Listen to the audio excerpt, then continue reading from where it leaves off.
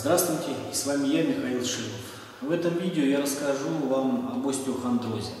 Почему не надо думать, что остеохондроз – это приговор. Ну, это никакой не приговор, на самом деле. А, почему же так актуальна эта тема? Вообще, в мединститутах говорят, что остеохондроз – это бич как бы, современного человека. Ну, таких бичей за последние, наверное, десятилетия не стало много, но остеохондроз один из них, да, то есть больной позвоночник – это вообще проблема, да. На самом деле это так. А почему же считается, что это бич, и почему так люди волнуются, переживают, когда им ставят такой диагноз, как остеохондроз? А происходит это вот почему. У человека прострелила спину, заболела шея, появилась какая-то тяжесть между лопаток, он пошел э, в больницу, если правильно все поступил, да, пошел в больницу, врач назначил значит, обследование и вот основываясь на субъективных данных, то есть анамнезе, то есть на то, что жалуется пациент, на его э, врачебном осмотре, а также на объективных методах обследования, таких как томография, там, рентгенография, э, ставить диагноз остеохондроз. И врач-рентгенолог тоже написал, такие-то есть изменения такие-то, остеохондроз, то-то, то-то. Человек говорит, а что же мне с этим делать? А у меня же вот остеохондроз, можно ли что-то ну, изменить? Как с этим быть? Как с этим дальше жить? Это можно вылечить. И ему доктор говорит, нет, говорит, вылечить это нельзя. Остеохондроз не лечится. Все, человек в расстройстве, ему назначают симптоматическое лечение, там, снимают болевой синдром, прокалывают витамины, там, ему становится лучше, ну, через какое-то время, когда его ничего не беспокоит, он об этом забывает, и так до следующего раза. В следующий раз он еще больше пугаться начинает, потому что это уже вспоминает, что остеохондроз не лечится. Вот. И уже возникает зона психологического такого дискомфорта. А ведь на самом деле врач не врал. Такой каламбур, да? Доктор не врал, так лучше сказать. Не лгал. Он правильно говорил, остеохондроз не лечится. Вопрос не в этом. Вопрос вот в чем. Остеохондроз это, само по себе, это не приговор сам по себе, это не болезнь. На самом деле остеохондроз это физиологический процесс. Это процесс старения позвоночника. Ну, надо быть объективным, да, то есть надо прекрасно понимать, что с возрастом стареют все органы и системы человека. Это нормально вполне, то есть он же не может стать старше сам, а все моложе. Нет, это невозможно. Ну, к сожалению, это невозможно. Вот. Но на самом деле, э, из-за того, что э, у человека старше становится, условно говоря, мозг, или пальцы рук, или что-то еще. У него что? Это всегда сопровождается болезнями. Нет, очень много людей, которые живут в здравом уме, доброй памяти до старости. И сердце работает хорошо до старости. И пальцы гнутся, ловкость сохраняя свою. И позвоночник может точно так же нормально работать до старости. Хотя во всех этих органах, во всех системах происходит процесс старения. Вот остеохондроз – это объективные проявления старение позвоночника. Нормально. Вопрос вот в чем. Вопрос в другом. А, вызыва... а сопровождается ли это старение какими-нибудь осложнениями? Вот это вопрос очень серьезный. Да, может сопровождаться. И вот если сопровождается, тогда и ставят этот э, диагноз остеохондроз. Хотя на самом деле остеохондроз это не диагноз, это констатация факта. Остеохондроз э, первые проявления этих изменений, они начинаются уже после 20 лет, а может и раньше даже. И чем старше, тем больше. Это, в принципе, нормально. Вопрос не в этом. Э, вопрос в том, проживет ли человек э, всю свою жизнь до конца, не испытывая проблем от того, что у него есть какой-то остеохондроз. Он об этом может не узнать вообще никогда, что остеохондроз у него есть. И не услышит этот термин, если у него никогда ничто не заболит. И это нормально вполне совершенно. Так вот, самое главное – это то, чтобы э, не было никаких осложнений и проявлений субъективных неприятных э, от остеохондроза, который есть в позвоночнике. Вот что важно. Поэтому на самом деле, если вам поставили такой диагноз, его бояться не надо. Надо думать вот о чем. Если э, уже есть какие-то субъективные проявления, есть вы чувствуете какие-то боли, тяжести, все такое прочее, то э, нужно сделать выводы и просто понимать, что когда вы добьетесь стойкой э, ремиссии, э, когда не будет проявления этих, то есть, как говорят, вылечил приступ остеохондроза, вылечил там, ну, э, потому что остеохондроз нельзя вылечить, да? можно вылечить его проявление, то нужно уже задуматься о том, чтобы повторных проявлений не было. Вот. А если у вас их еще не было никогда, то нужно задуматься о том, чтобы они никогда не проявились. Потому что старение позвоночника будет происходить. А вот что важно понимать? Э, да, старение, значит, избежать невозможно. Стареть позвоночник будет все равно всегда. Чем вы старше, тем он старше. А, но одно дело возраст э, календарный, то есть сколько вам лет, столько возраст вашего позвоночника. А другое дело возраст физиологический. И старение позвоночника может быть быстрым, а может быть медленным. Есть молодые люди, у которых позвоночник как у глубокого старика, а есть наоборот э, старики, которым позавидовали даже молодые. Вывод. Э, старение позвоночника можно как ускорить, так и замедлить. Зависит все дело от того, какой вести образ жизни. А, на самом деле все очень просто. Очень просто. А, заключается оно, вот эта простота в чем? А, в функциональности и в востребованности этой функциональности. Все очень просто. Вы сейчас все поймете сразу, и уже с сегодняшнего дня начнете делать выводы, как нужно себя вести, да, чтобы значит, избежать вот этих осложнений значит, остеохондроза и как замедлить развитие этого остеохондроза, то есть как, э, как можно дольше сохранить а, молодость вашего позвоночника и замедлить его старение. А, в организме все так устроено, что если что-то востребовано, нужно, то эта функция, она сохраняется и даже развивается. Если что-то не востребовано, то функция это будет утрачена. Но утрачивается не только функция. Почему теряется функция? Потому что э, идут изменения на органическом уровне. То есть э, структура и функция, они неразделимы. Я приведу пример. Если мышца не работает, она будет атрофироваться. Субъективно мы это заметим как уменьшение силы. То есть если мышцу не тренировать, она слабее становится. Если поначалу она просто функционально слабее становится, то есть просто слабее, а в объеме она сохранится такая же, то пройдет какой-то период э, времени, и ваш организм просто поймет, а зачем ему еще и кормить такую мышцу слабую, э, но большую. Она может слабой быть и, и небольшой. И будет атрофия мышцы уже на органическом уровне. То есть мышца станет меньше.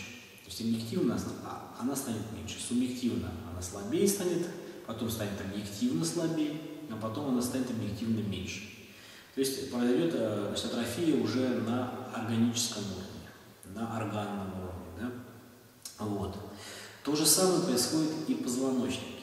Э, дело в том, что позвоночник состоит из огромного количества суставов из огромного количества суставов. И все позвонки между собой подвижны.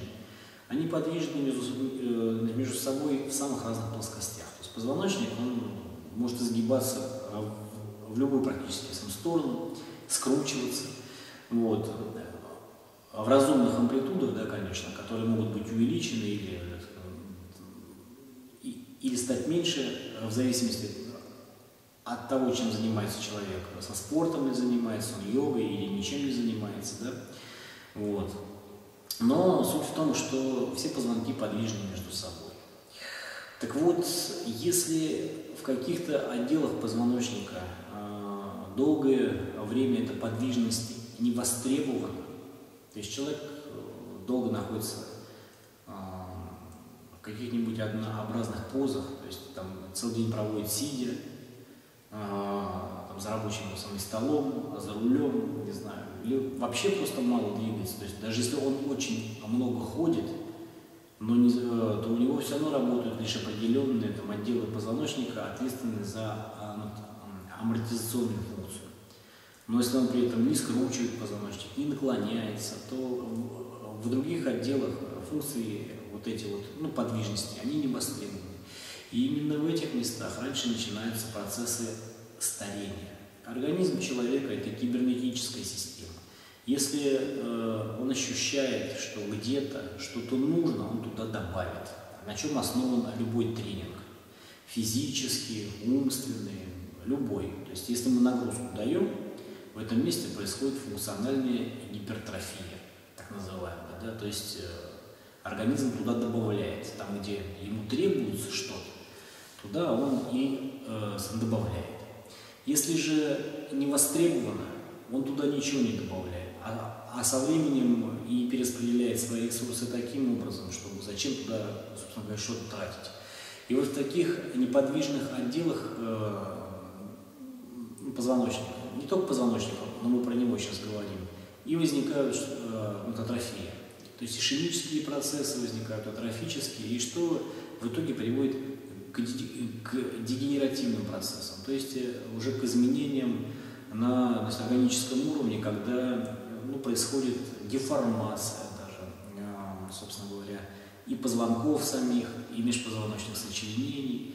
И вот здесь уже мы говорим об осложнениях остеохондроза. То есть, понимаете, может позвонок стареть, как говорится, правильно, сохраняя при этом свою форму правильную, все, да, а может он стареть таким образом, при котором станет деформированным, то есть изменит свои поверхности суставные, сам изменит свою форму. И в итоге это точно приведет обязательно к осложнениям, к различным люмбагорадикулитам, так называемым. Вот. К тому, к самым худшим проявлениям остеохондроза, какие только могут быть. В основном они все, как правило, сопровождаются болями либо в самом позвоночнике, либо в мышцах окружающих позвоночник, либо даже в ну, наведенных болях на внутренние значит, органы, когда даже бывает ну, сам симулирует эти боли, э, там, ишемическую болезнь, это сам сердце. То есть у человека болит сердце, он, он думает, у него болит сердце, он, и болит, он ходит к кардиологу, пытается лечить, а на самом деле проблема Э, в плечелопаточном периартрите каком-нибудь и, и, межлопаточном остеохондрозе. То есть э, в грудном отделе есть остеохондроз, даже в шейном отделе остеохондроз. У человека болит сердце, хотя шея и между лопаток при этом не особо дискомфорт испытывает. Вот. Так что, еще раз, я резюмирую, да, в чем, собственно говоря, суть. Остеохондроз – это естественный функциональный процесс и физиологический естественный физиологический процесс старения позвоночника. Старение позвоночника можно как ускорить, а так и замедлить. А, старение – это не всегда э, то, что сопровождается какими-то болями и заболеваниями. Старение может идти, как говорится, ровно, планомерно, медленно, и, э, как говорится, до последнего вздоха человек может никогда не испытать каких-то вообще неприятных ощущений в позвоночнике. Или может испытать, но это не приводит к тому, что он э, должен очень много колоть витаминов, лечиться, ездить в коляске в инвалидной, лежать на кровати по полдня. Вот. И, конечно, самое важное, что э, только востребованность всех э, движений в позвоночнике является залогом того, что позвоночник останется полностью а, функциональным. А именно правильная функция и востребованность этой функции – это залог э, здоровья позвоночника. Чем э, позвоночник э, правильнее работает, то есть э, задействованы все движения во всех межпозвоночных сочленениях, тем более востребованным чувствует организм все вот эти сочленения, и в них замедляются процессы э, старения и какой-то дегенерации она может даже вообще не возникнуть. Поэтому все просто на самом деле, надо двигаться. Но важно понимать, что двигаться нужно правильно. То есть, э, если вы для того, чтобы у вас не было там остеохондроза, будете бегать по, э, по утрам, то этого будет крайне недостаточно, потому что а, при беге не задействуют все межпозвоночные сочленения. Если вы будете с утра гимнастику делать утреннюю из трех-четырех упражнений, этого тоже будет мало. Вот. Но на самом деле э, все просто. Нужно делать полноценную разминку для позвоночника, которая позволяет задействовать все движения во всех осях и плоскостях между позвонками. Вот э, об этом я начну рассказывать уже в следующем видео. В следующем видео я расскажу про шею. То есть про шейный э, значит, отдел позвоночника, про то, какие в шейном отделе позвоночника существуют э, ну, правильные движения, потому что есть неправильные. Шею можно двигать по-разному, можно ей двигать так, что наоборот износит позвонки и сочленение до межпозвоночника еще быстрее. Какие значит, являются физиологичными движениями, э, а правильно функциональными, и покажу, как их надо делать. Самое интересное то, что специально в какое-то времени значит, уделять, но это не нужно. Это можно делать э, в промежутке там, ну, между чтением там, писем, например, да, я там сидеть за столом рабочим, между звонками телефонами. Даже на светофоре в машине сидя можно делать то же самое. Сидя перед телевизором вечером. Причем это не важно. Э, время для этого очень легко найти, но об этом я расскажу чуть позже. А пока делайте выводы и уже с сегодняшнего дня начинайте с утра делать разминку. Это правильно. Хотя бы что-то. Покрутите торс, да, поподнимайте там, руки, понаклоняйтесь в сторону. Это уже неплохо. А со временем, когда вы посмотрите все мои э, значит, видео этого видеокурса, вы будете э, значит, обладать всеми необходимыми говорится, навыками и э, знаниями для того, чтобы полноценно и комплексно э, сработать э, над позвоночником своим.